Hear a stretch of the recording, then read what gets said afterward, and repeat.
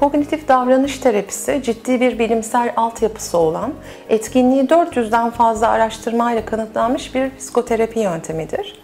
Kognitif modele göre bizim duygularımızı belirleyen şeyler, olaylar veya durumlar değil, bu olaylara veya durumlara atfettiğimiz anlamlar, bununla ilgili düşünce biçimlerimizdir.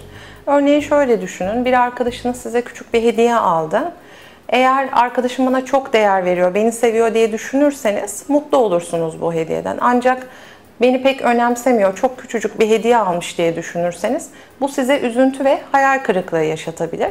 Bu örnekte olduğu gibi kognitif modelde duygularımızı belirleyen şeylerin düşünceler ve onlara, olaylara kattığımız e, anlamlar olduğu da inanılır. Kognitif terapi öncelikle bireyin güncel sorunlarına odaklanan, kanıta dayalı, zaman sınırlı ve hedef odaklı, çözüme yönelik e, odaklanmış bir terapi türüdür. Terapi içinde sadece sorunların çözümü değil, kişinin yaşam boyu karşılaştığı sıkıntılarla, sorunlarla ilgili kullanabileceği bilgi ve becerilerle donanması sağlanır ve bu sorunlarla nasıl başa çıkabileceğine dair çeşitli yöntemler öğretilir.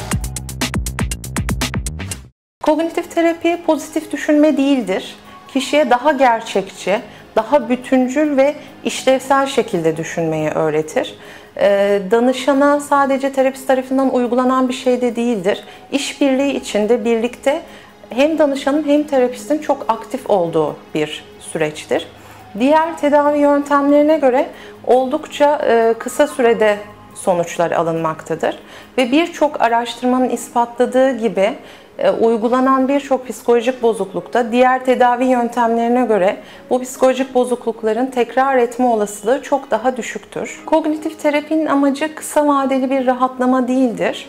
Kişinin yaşam boyunca iyilik halini korumasına hizmet eder. Seanslar arasında yapılandırılmış bazı çalışmalar ve uygulamalar vardır. Bunlar da terapinin önemli birer parçasıdır. Danışanın da aktif katılımıyla birlikte psikolojik bozuklukların tedavisinde en etkin olarak görülen terapi türlerinden biridir.